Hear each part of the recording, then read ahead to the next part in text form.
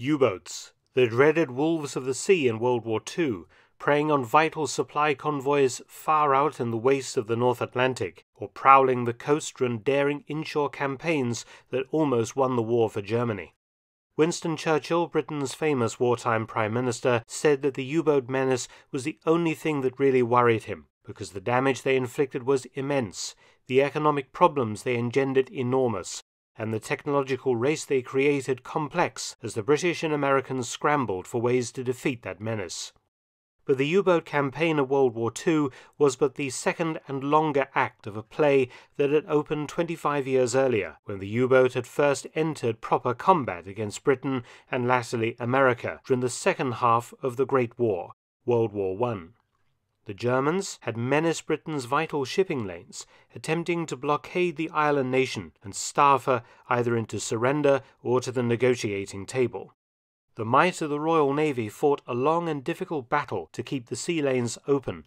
The German U boats sank almost 5,000 ships, including infamously the transatlantic liner Lusitania, one of the events that brought the United States into the war on Britain's side. At war's end, the victorious powers determined that Germany would not be permitted to build or operate submarines ever again. Such was their effectiveness during the conflict. The German Navy, as well as surrendering its battleships, cruisers, and destroyers, had to hand over its U boats. In total, Germany had commissioned 375 U boats during World War I, losing 178 along with 5,000 men. About 172 U boats were surrendered to the victorious powers in 1918 to 19, the remaining balance of existing boats having been scuttled or interned in neutral countries. Many U boats ended up in the French Navy as war reparations. Others were given to the Imperial Japanese Navy, then an ally, for technical study. Britain took the majority, along with a few given to the United States. Many were broken up for scrap or used as targets. So it was that three Type UB-3 U-boats that surrendered at Harwich in Essex on the 27th of March 1919 still exist today. UB-144, 145 and 150 were all identical. The UB-3 was a coastal submarine, the Germans building 96 between 1916 and 1918, with 89 being commissioned. 37 of these boats were lost on operations or to accidents, but the type wrought havoc on the British and Americans, sinking 521 merchant ships and seven warships, including the British battleship HMS Britannia.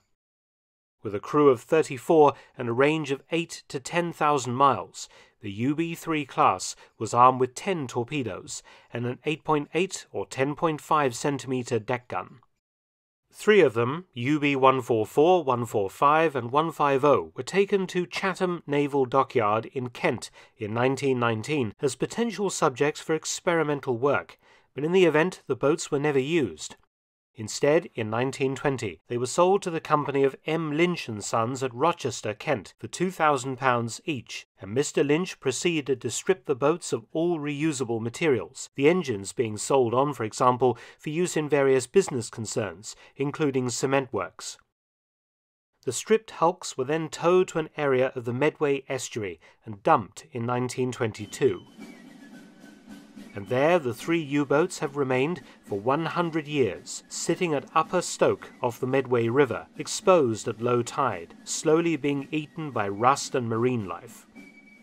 Some attempts were made to scrap the U-boats during World War II, and two of the hulks are very badly demolished, but one, often misidentified as the type UB3 UB122, is fairly complete Incidentally, UB122 is clearly listed as scuttled in the English Channel in British Admiralty records for 1921 and can't be the U boat in the Medway today.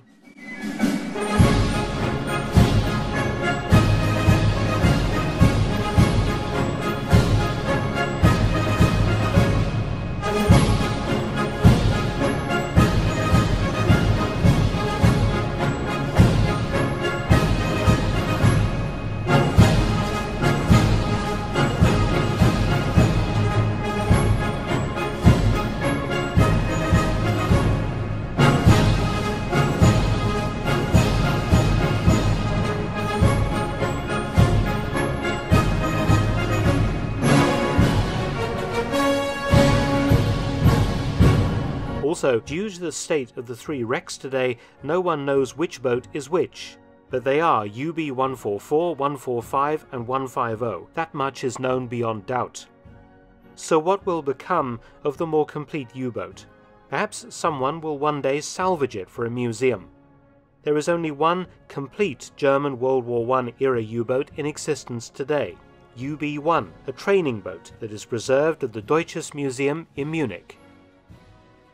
Thanks for watching, please subscribe and share, and also visit my audiobook channel, War Stories with Mark Felton.